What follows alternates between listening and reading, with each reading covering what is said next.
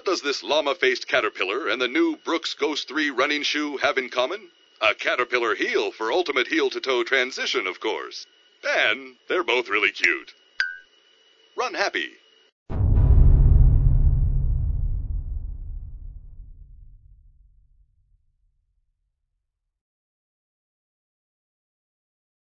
Runners need more than just strong legs to run their best. Total body strength, balance, and flexibility are also important. A strong, flexible runner is a more efficient runner. The first exercise in this video will test your overall flexibility, and the second will help you improve it. The test reclining hand to toe pose.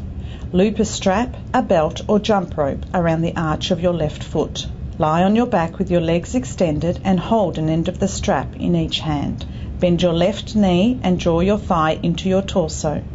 Inhale and straighten the leg as much as possible while pressing your heel toward the ceiling. Try to walk your hands up the strap until your elbows are straight. Then use the strap to gently bring your leg as close to your head as possible. Note the angle of your leg in respect to your grounded leg. Improve it. Standing runner's stretch. Stand with your butt against a wall and your feet 15 to 30 centimetres from the wall's base. Bend forward from the hips and try to place your palms on the floor. Your knees should be soft but not bent. If you can't reach the floor, put a yoga block or a book in front of your feet and rest your hands on that. Try this stretch after a run when your muscles are still warm.